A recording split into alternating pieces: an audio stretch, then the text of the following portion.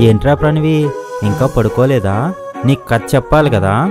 నాన్న ఈరోజు నేనే నీకో కథ చెప్తాను.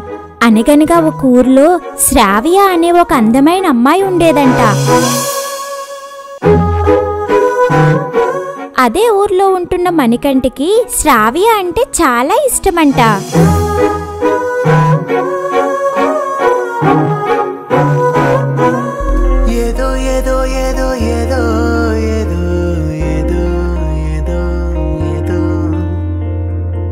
నన్ను తాకినట్టు ఉంది మాయేదో ఏదో ఏదో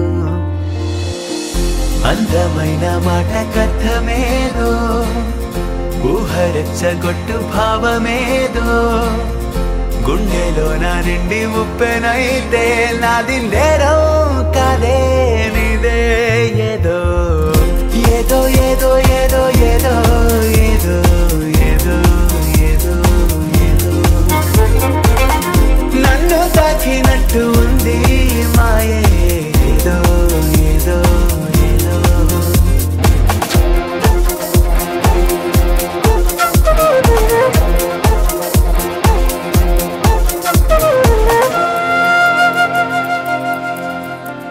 कलुदलो मेरी से कलयेदो वालु जड़े बोली के कलयेदो पिलु पुलो चिलिपि तनुवेदो